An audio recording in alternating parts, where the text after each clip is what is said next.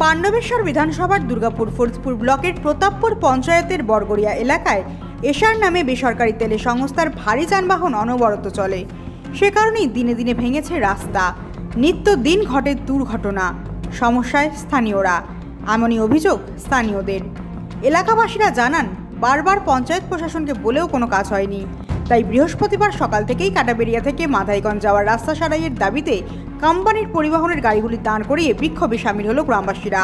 আচ্ছা আমরা দেখতেই পাচ্ছেন যে এই রাস্তার বেহাল অবস্থা। এই রাস্তা দিয়ে বহু ছেলে মেয়ে পারাপার করে বহু সাধারণ মানুষ এই রাস্তা দিয়ে যাতায়াত করে দিন রাত এই দীর্ঘদিন ধরে রাস্তার এত বেহাল অবস্থা বেহাল অবস্থা এসব দেখেও কিছু দেখছে না। বড় বড় গাড়ি পেরোচ্ছে কিন্তু দিনকে দিন রাস্তার অবনতি হচ্ছে এবং ছেলেমেয়েরা সাইকেল নিয়ে যাওয়ার সময় অনেকে গর্ততে পড়ে যায়, তাদের জামা প্যান্ট ভিজে যায়, এভাবে কষ্টের মধ্যে দিয়ে তারা স্কুলে যাওয়া- আসা করে। রাস্তা দিয়ে চলাচলের সময় আমরা পড়ে যাই, অনেক সময় স্কুল যেতে, টিউশন যেতে অসুবিধা হয় এবং অনেক সময় দেখা যায় বড় বড় গাড়িতে অনেক অ্যাক্সিডেন্ট হয়েছে এবং অনেক অসুবিধা হয় আমাদের। অবস্থা বেহাল।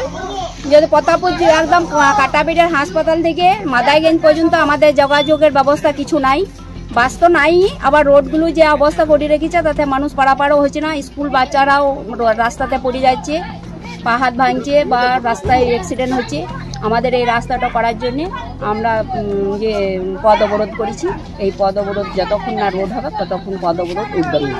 লাউদোহা থেকে হরিঘোষের রিপোর্ট এএনএম নিউজ আরও খবরের আপডেট পেতে সাবস্ক্রাইব করুন আমাদের ইউটিউব চ্যানেলটি আর বেল আইকনে ক্লিক করুন নোটিফিকেশনস পেতে।